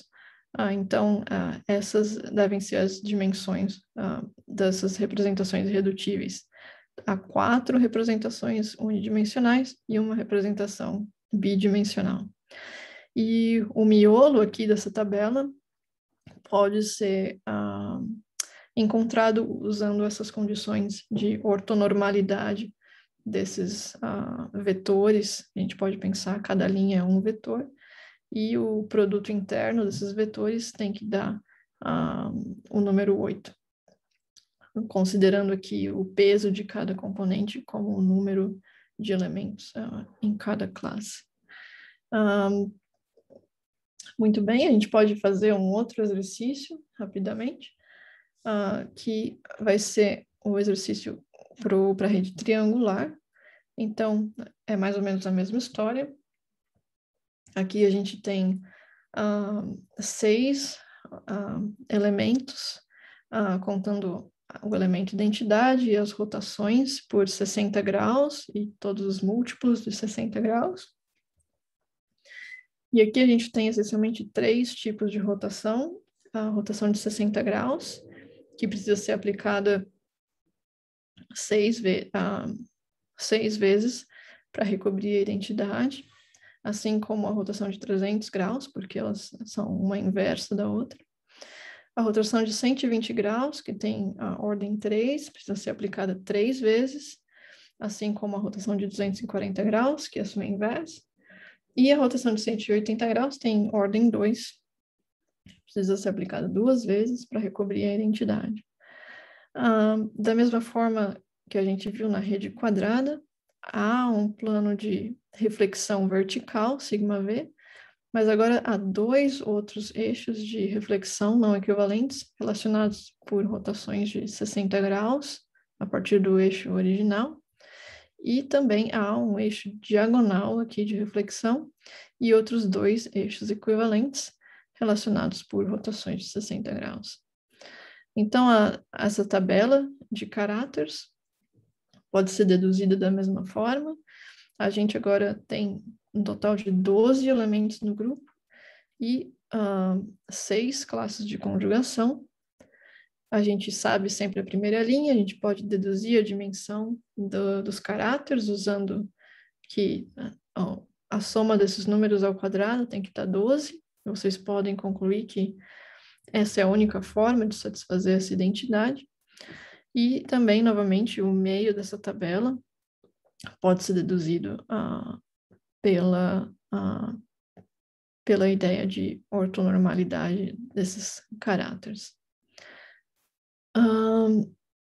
Muito bem, então há muitos grupos, muitos grupos do tipo ponto, esses grupos que deixam um ponto invariante, e claro que há livros e hoje em dia há, há sites que há, dão todas essas tabelas já trabalhadas, não é algo que a gente precisa derivar toda vez que a gente está interessado em algum grupo.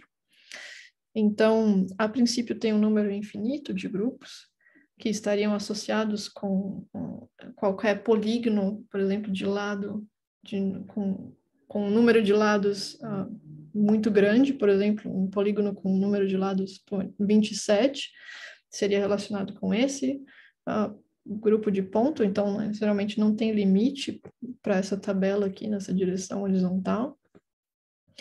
Uh, mas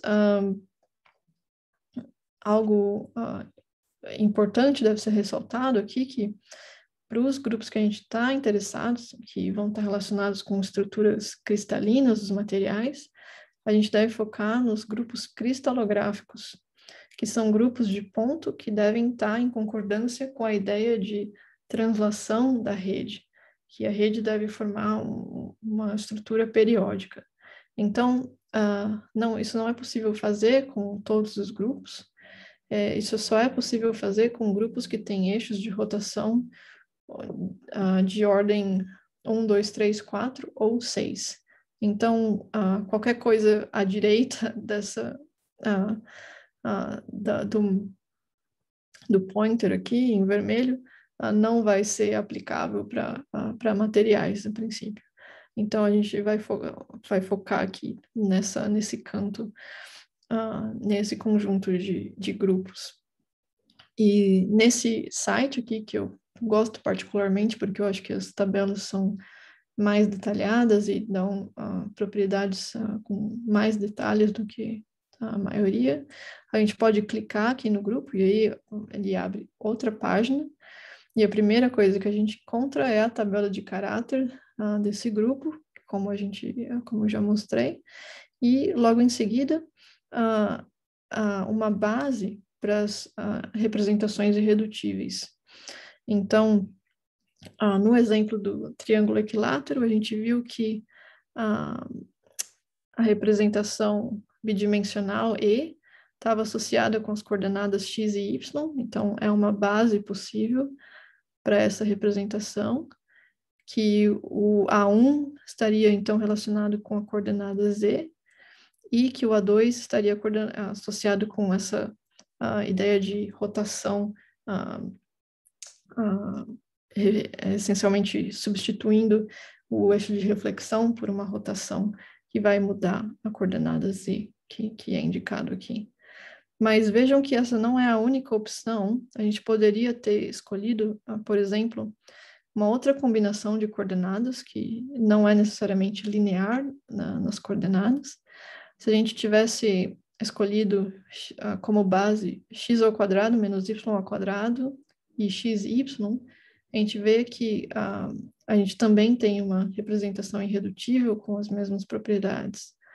E se a gente escolhesse algo um pouco mais exótico, como essa combinação de x e y aqui, x vezes x ao quadrado menos 3y ao quadrado, a gente veria que essa combinação é invariante uh, sobre todas as operações do grupo, porque essa é uma base para representação trivial.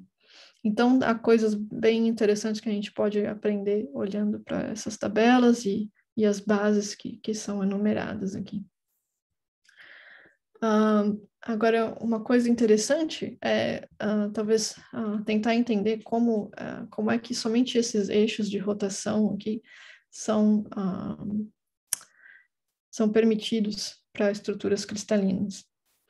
E uma, uma forma de fazer isso é pensar em cobrir o plano, pelo menos para os exemplos de redes bidimensionais, que é mais fácil de ah, mostrar aqui na, na tela, a gente pode pensar em cobrir o espaço com lajotas uh, ou azulejos de, que, que são certos polígonos regulares, ou triângulos, quadrados, pentágonos, hexágonos e assim por diante.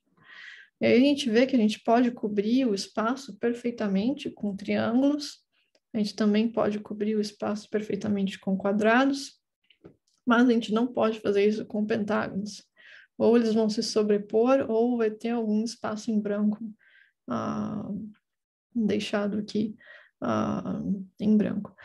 Uh, é possível fazer com hexágonos, mas com heptágonos ou qualquer outro polígono regular com um número de lados maior que seis, isso já não é possível. E uma forma, talvez, de realmente verificar que isso não é possível, um pouco mais formalmente, é uh, ver, por exemplo, que o uh, primeiro definir uh, ou achar uma equação para o ângulo interno desses polígonos regulares. Então, a gente sabe que para um triângulo, a soma dos ângulos é 180 graus. Então, para um triângulo uh, equilátero, o ângulo deve ser uh, de 60 graus.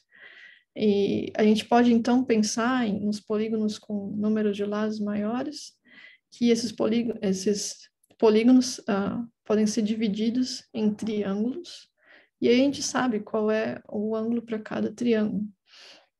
A soma de todos os ângulos deve ser 180 graus. Então, aqui essa, essa fórmula nos dá a fórmula para o ângulo interno de um uh, polígono uh, com um número de lados igual a n. Então, para o triângulo, vai ser 3 menos 2 dividido por 3, então 180 dividido por 3 dá os 60 graus, que a gente já sabe. Para o quadrado vai ser 4 menos 2 dividido por 2, ah, por 4, dividido, desculpa. Então vai ser 180 dividido por 2, que dá 90, então a gente sabe que o quadrado tem 90 graus. Uh, mas para os uh, outros polígonos, talvez não seja tão óbvio qual seja o ângulo, uh, então a gente tem essa fórmula.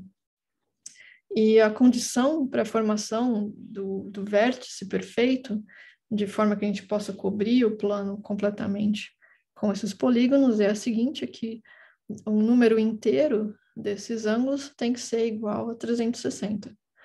Então, a gente encontra essa equação com m, um número inteiro, e n, um número inteiro que corresponde ao número de lados do polígono. Então, a gente pode fazer um gráfico dessa função aqui, n menos 2 dividido por n vezes 180. A gente vê que para n infinito, ele vai tender a 180, mas nunca chegar a 180. E isso quer dizer que, o, que a gente começa aqui com o primeiro polígono, que é o triângulo, é, um polígono com lados infinitos, um número de lados infinitos é essencialmente um círculo. E aí o círculo a gente não pode cobrir o plano também com um círculo, não é possível, sempre vão ter espaços entre os círculos, né?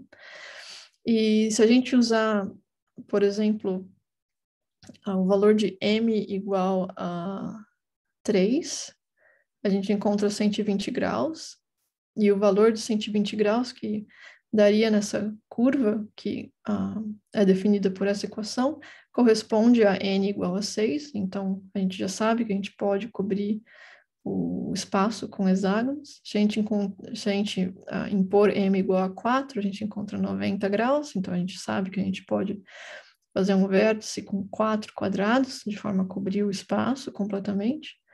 Se a gente uh, impor m igual a 5, a gente encontra um número que uh, não tem o polígono correspondente aqui, então essa, essa marcação aqui em cinza.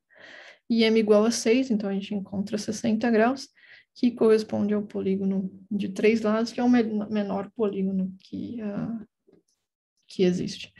Então, isso uh, nos garante, então, que as únicas soluções são, então, o triângulo, o quadrado uh, e o hexágono para cobrir o espaço de forma perfeita, o espaço bidimensional de forma perfeita, e isso reduz o número de pontos, de grupos de, de ponto uh, de um número infinito para um número infinito, para um número finito de, de, de 32 um, em, em três dimensões.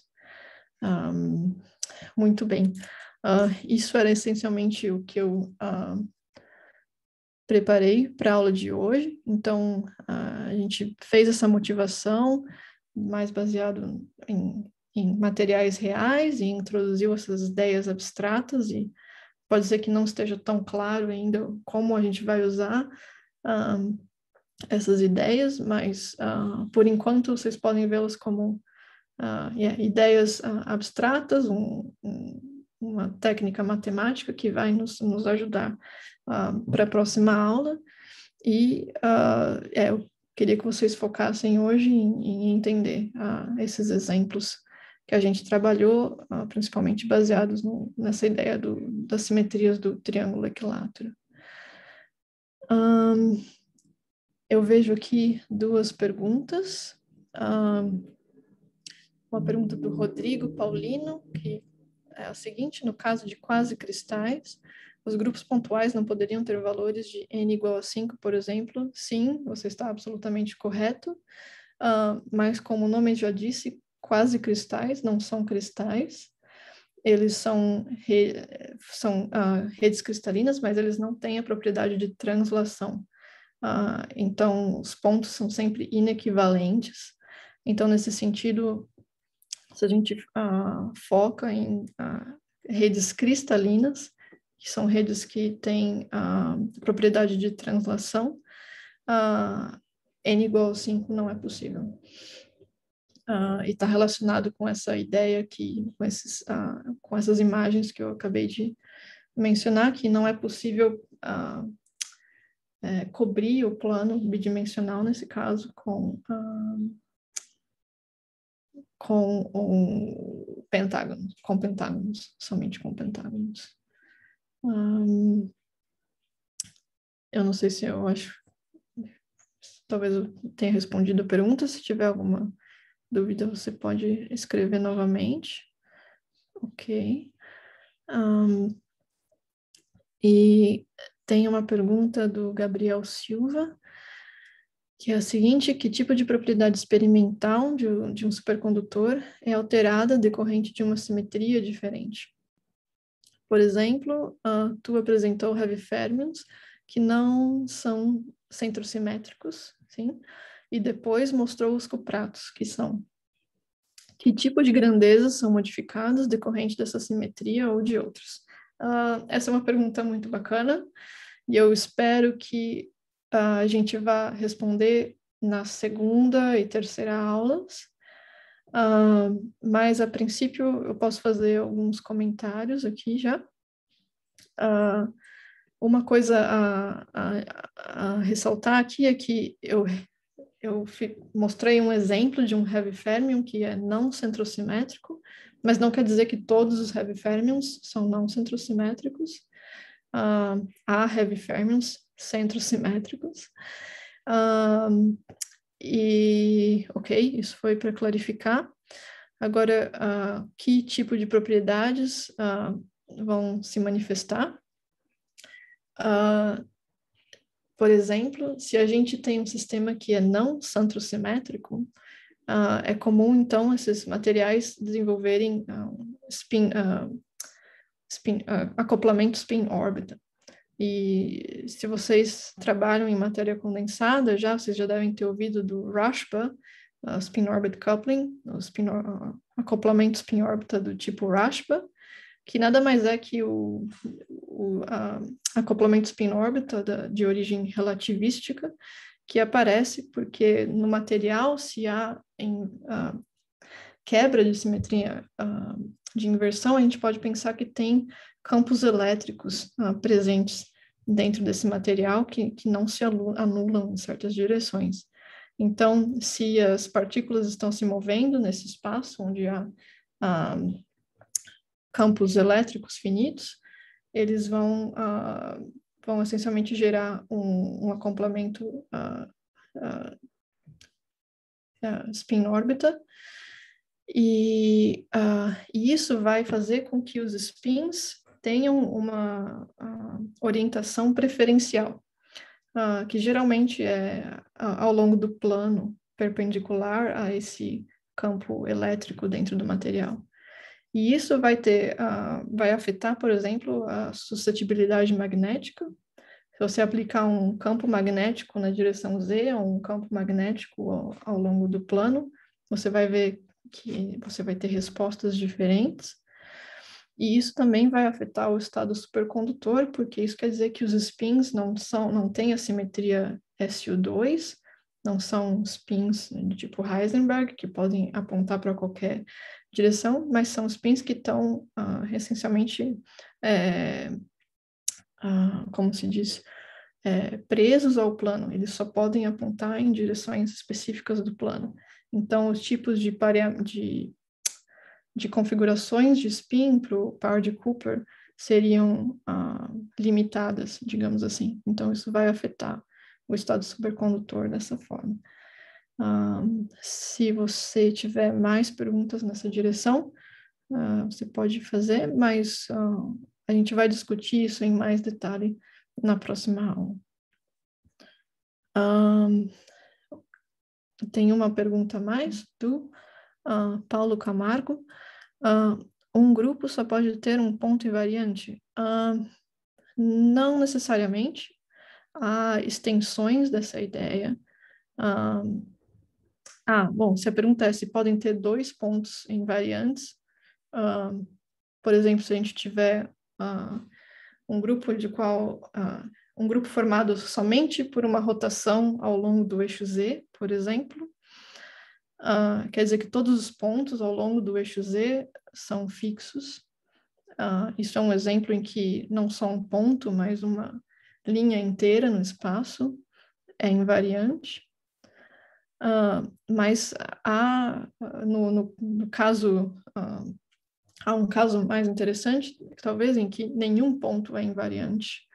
E esses são os grupos de espaço que combinam os grupos de ponto com as translações.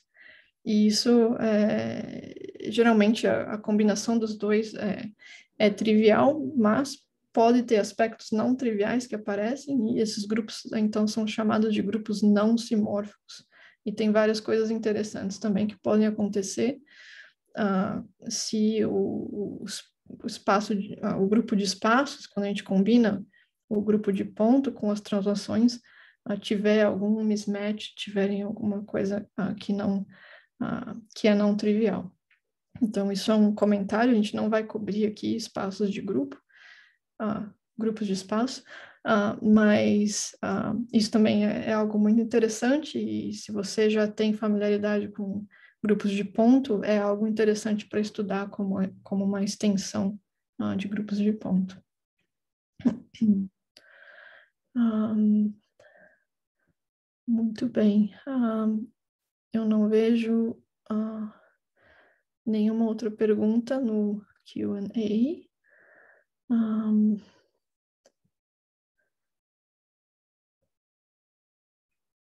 nem no, nem no uh, chat. Um, então, um, acho que a gente tem uns 5, uh, 10 minutos a mais. E, ah, ok, tem mais uma pergunta. Um, minha pergunta é especificamente sobre a relação entre condensados, fases coerentes e emergência ou quebra de simetrias. Um, ok. Um, então, eu não sei se eu entendi a pergunta direito, mas eu acho que a pergunta é uh, o uh, quando o estado supercondutor se desenvolve, a quebra ou emergência de simetrias? É essa a pergunta?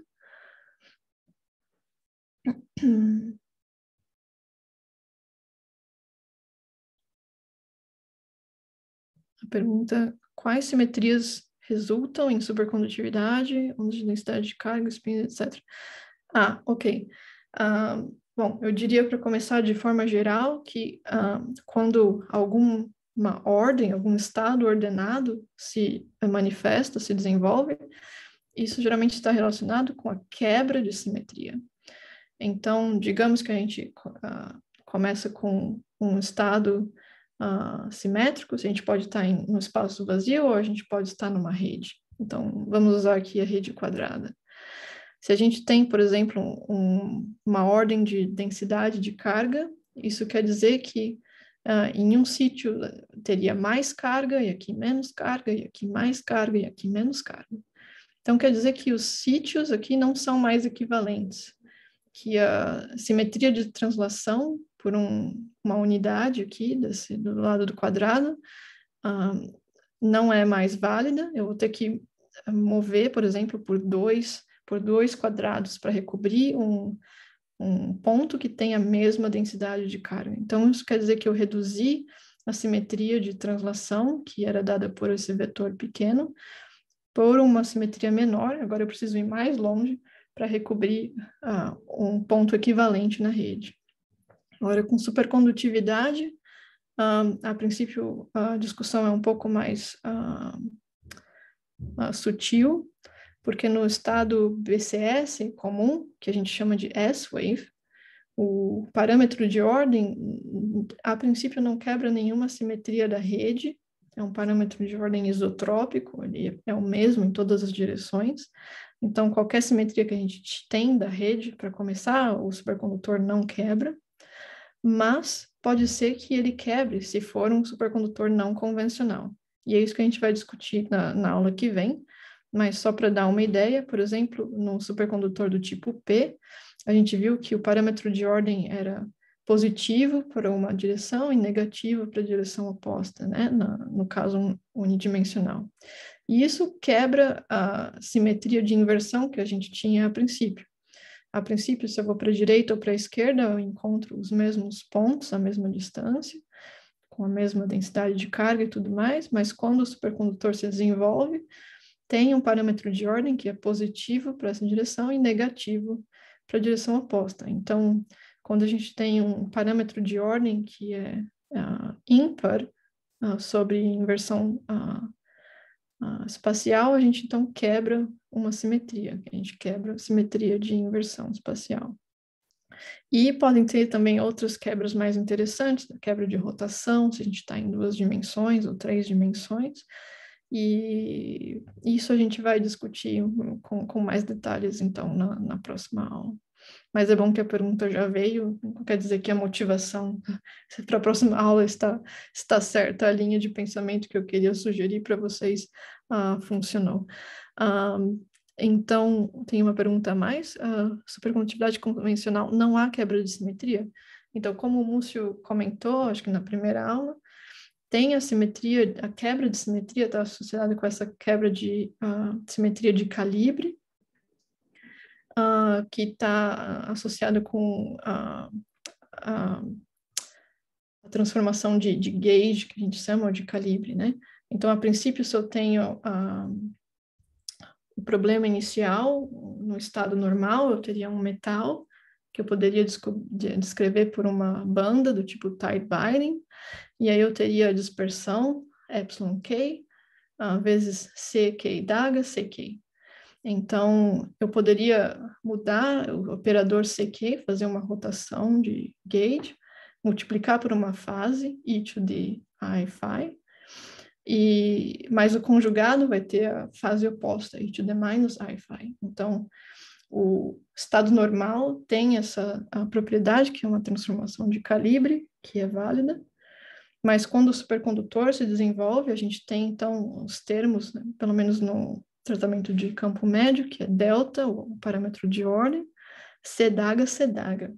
Então, o sedaga, sedaga vai ser, então, mapeado com uma, uma fase extra, que é duas vezes I phi, e to the two, uh, exponencial duas vezes i times a, a, fase. Então, quer dizer que a gente encontra uma outra Hamiltoniana, um outro estado. Então, a simetria de gauge quebrada nesse, nesse sentido. Uh, mas outras simetrias não são quebradas porque o, o spin uh, continua invariante, ou spin zero, pode ser rodado em todas as direções, vai ser o mesmo uh, spin total zero, e o parâmetro de ordem tem a mesma magnitude em todas as direções, então a gente pode olhar em todas as direções, uh, vai ter a mesma simetria com a qual a gente começou. Então, essa acho que é, é parte da resposta. É, é, difícil aqui não ter um, um quadro negro para escrever essas coisas, mas eu espero que uh, tenha então respondido a pergunta. Uh, ok, uh, então eu acho que se não uh, tiver mais perguntas, uh, acho que a gente pode parar por aqui hoje. Mesmo que tiver, mas, mesmo se tiver mais perguntas, eu acho que o tempo não permite. Mas vocês podem é, pensar e, e, a gente pode discutir na aula que vem, se vocês ainda tiverem alguma dúvida relacionada com essa, uh, essa aula de hoje. Então, obrigado a todos por, por estarem presentes aqui. E então, até amanhã.